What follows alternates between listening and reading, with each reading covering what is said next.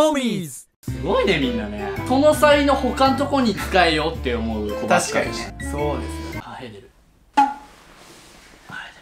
山じゃはい、この動画に行く前に、僕たちはチャンネル登録者100万人を目指して動画投稿を行っております。もし応援してくれよっていう方はチャンネル登録、高評価の方お願いします。それでは秀逸すぎる教科書の落書きの世界へ。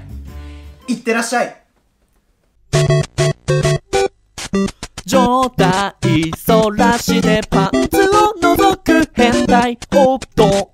それなんだエロチックマガジンセクシー夏の思い出は海でサメに飛ぶパクリ。顔面バイ声でただの一目。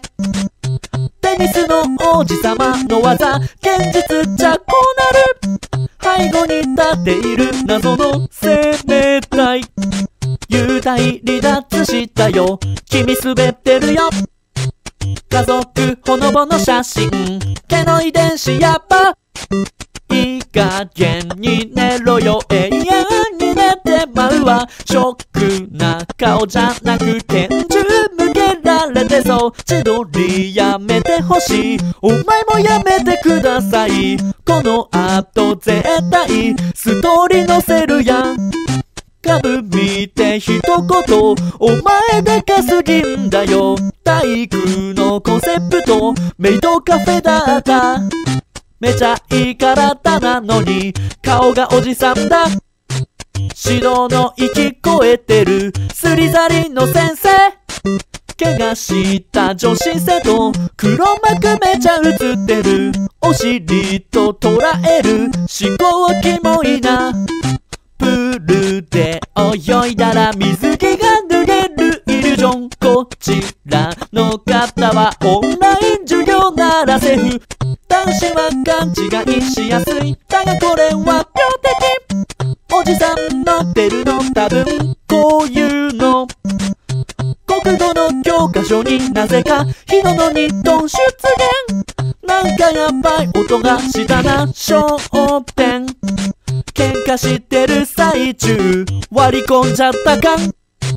より高く飛び寝る無駄のない部だ。った食物連鎖人間の上がいた。サンタマリアに壁できた境地も来た。戦国武将は裏じゃ長いバンドマン。つま先を使い剣弁を用意ドンって言ったら走るんやでしょうもね。こんな状態でもナルシストでした。やーやーやーや。ーラッパーかな？ビキニ着せてみたら意外と似合った。プリズンブレイク見たとみんなこうなる。この家族はめちゃ闇が深そうだ最後を締めるのはもちろんこの人任天堂マリオさん。おかえりなさーい。はバカですね本当に。体育の授業のこれ相撲のページなんですよ。うおすごっ。全部メイドさん多分そういうコンセプトでやってるんですよね妖精さんですかねアットホームカフェうんまあ最後を締めくくるはやっぱりこの方ですよね。オリンピックであ安倍さんじゃないですか